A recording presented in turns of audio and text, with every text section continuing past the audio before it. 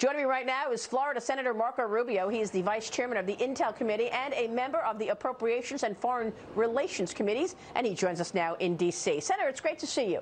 Thanks very much Thank for being you. here this morning. You've done such great work on foreign affairs. Your, your thoughts on that meeting between Putin and Biden? Well, I wasn't at the meeting, so I can't comment. My, my, only source of information about it is whatever the White House puts out. But I can tell you that Putin is determined to impose neutrality on Ukraine. In essence, he's not going to accept that Ukraine becomes a member of NATO, and he believes that NATO is eventually going to put troops there and missiles there on his on his western border and threaten him. And so I think he views this as an opportunity for three reasons. The first is I think he looks at President Biden after Afghanistan, his domestic troubles, everything that's going on, and he figures now is a good time to push. The second is I think he looks at differences of opinion. Different countries in Europe, members of NATO, have give this a different level of priority. Up until a week ago, you had a lot of NATO countries that didn't think this was real or didn't weren't too concerned about it, and many that are concerned about it, some want to do a lot about it, and some really think it's a manageable problem. And third, because I think in his view, this is this is uh, this is just uh, something that uh, uh I think the term they that he likes to use is his cup of patience. Uh, it's a Russian terminology. I don't fully understand it, but it basically equates to our red line, which is the language he's now using uh, increasingly and uh, and I, I, I believe yeah. that what it is for him. So I think it's a very delicate and serious situation, and I think it's important for the president to explain to the American people why what happens to Ukraine is in the national interest of the United States. What is our national interest? Because based on that is, is how you determine how involved you get and what options you, you would even consider. Well, that that's obviously yes, the the number one question. Thank you for that. But I've got to I, have got to wonder why President Biden is so concerned about the border of Ukraine, and yet our border is wide open. Uh, to yeah. Mexico, and uh, we are, you know, we are arresting two million people this year for breaching the border, and 600,000 others got away. I mean, is is there no acknowledgement of that while he focuses yeah. on the Ukraine border? Yeah, I mean, there's a lot of ironies out there, right? I mean, you know, we at the, the we, we have people entering the United States illegally who get released into the population after processing, uh, even if they're not vaccinated, and the people who arrested them and processed them were going to get fired if they're not vaccinated. That, that, there's a lot of crazy stuff like that happening, and, and I think that's what happens when when your policy agenda is driven by lunacy and driven by radical left-wing Marxist ideology that becomes the base of your party, and not by you know, common sense wisdom and not by things we know that work. Yeah, I, and so you, you, have this world right now where Joe Biden is now in charge of implementing this, the Remain in Mexico policies that he ran against, not just because a court told him to, but because frankly, if he doesn't, uh, the border situation is going to continue to unravel. That's right. And, and, and, then there's China. When are we actually going to see some teeth uh, in this policy uh, pushing back against the Communist Party of China? I mean, you've been working on legislation for a long time in terms of uh, putting guardrails in place so that Americans do not fund the expansion of the Chinese Communist Party by investing in Chinese stocks. Where are we on that? I know that the NDAA uh, passed the House, but I want to get your thoughts on when, if ever, we're going to see any real real policy against China's bad behavior?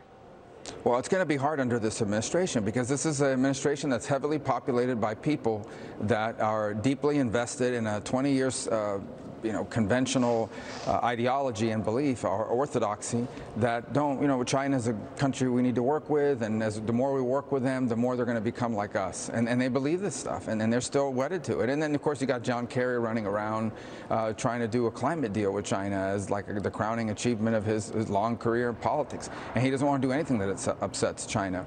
So you, you do have some people in the administration that probably want to be more aggressive about China, but you have a lot of others who are sort of want to balance this thing out and not go too hard and still think there's hope for China because they've spent 20 years invested in that and they don't want to walk away from it. And so, and, and they want to, you know, you know, they want to be popular in the international community.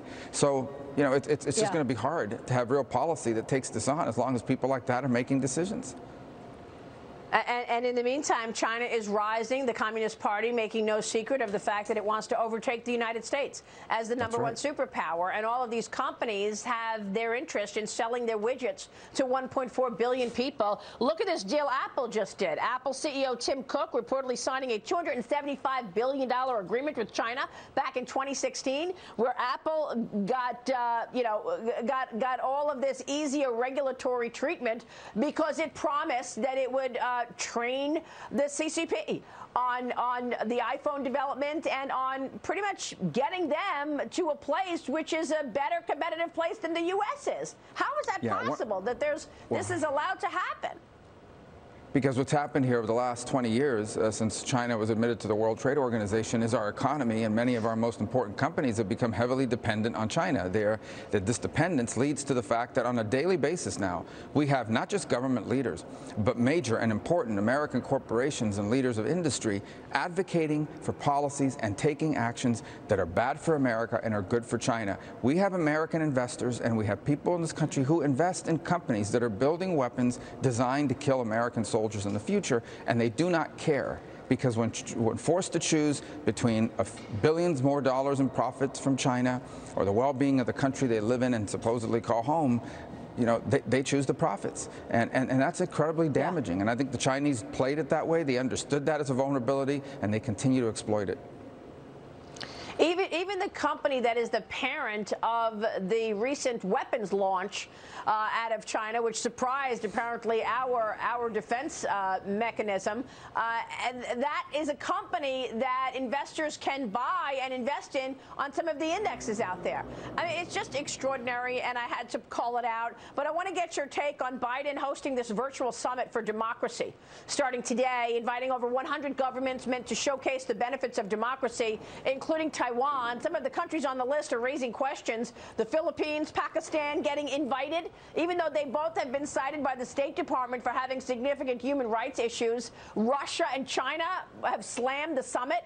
Senator, what's this summit all about? And it's funny to see, you know, the president talking about freedom and liberty and democracy when uh, he's still pushing forth his unconstitutional vaccine mandate. Yeah, so a couple things on that. The first is that in and of itself, the idea of holding a summit of democracies and bringing them together is not negative. I think anytime you can use the convening power of the United States to create alliances to push back against totalitarian regimes, you should.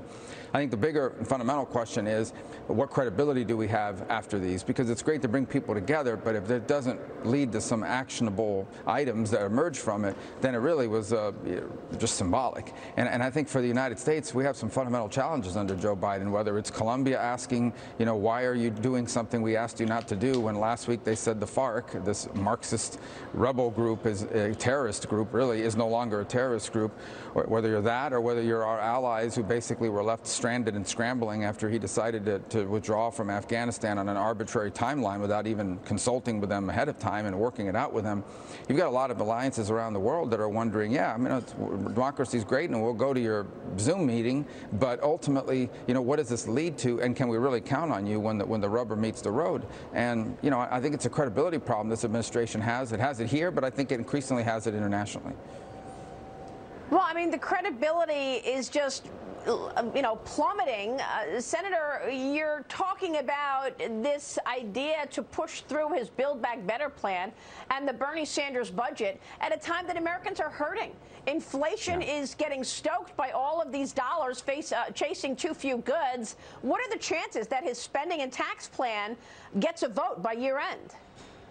Well, I mean, Chuck, Chuck Schumer can set it up anytime he wants. And, um, and he continues to say he wants to do it before Christmas. So we'll see if that's true. Um, I don't know if he has the votes. That's a question for Joe Manchin and, and, and Kyrsten Sinema. He doesn't have any Republican votes for it. And it's nothing less than the uh, codification of socialism. I don't think we should be under any illusion that this bill is nothing more than codifying socialism.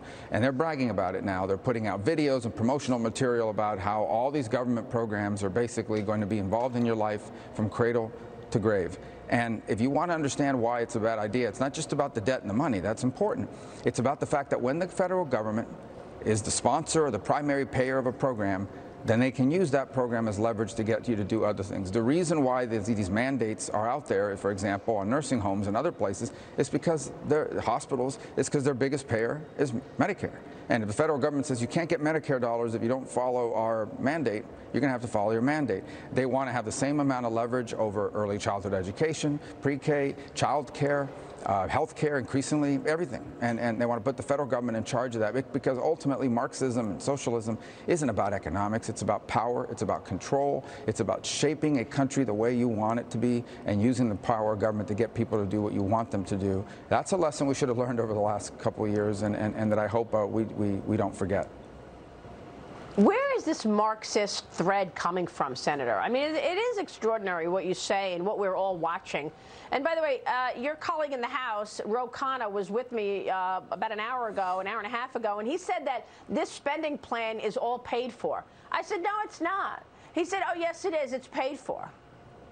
It's a, that's a gimmick, gimmicky language. For example, it's not all paid for. That's number one. It's interesting. The CBO says it's not all paid for, but they, they, they say, well, right. the CBO is, is just one opinion, right? There are a lot of other opinions out there about it. But but here's the truth: is if you create a program and you say, okay, over the it, the program is authorized for three years, and so over the next 10 years, you only have three years worth of, of, of um, of costs, that's one thing. But these programs are, are, yeah, they may be authorized for three years, but they intend for them to be permanent. And that's what they're hoping for, right. that once these things get into the ground and once they get running, they're never going to go away. And if you calculate it that way, then it not only is it not paid for, but it's a massive expansion of government that's going to lead to tax increases way beyond anything they're publicly acknowledging and, um, and, and, will fundamentally redefine. I mean, listen, if this bill passes, it will fundamentally redefine America's economy in a very negative way and will strip us of our dynamism. As simple as that.